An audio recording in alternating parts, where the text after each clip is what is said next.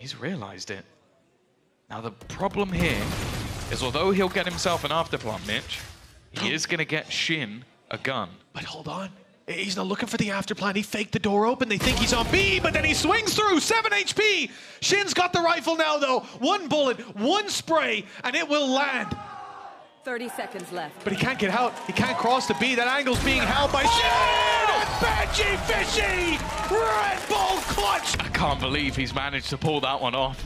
He's a genius. The breaking of the door, I thought they were screwed. And the thing is, to sprint into a site up against a team with weak weapons and through a snake bite, it was really risky for the side of Heretics. the heroes on Heretics rising to the occasion.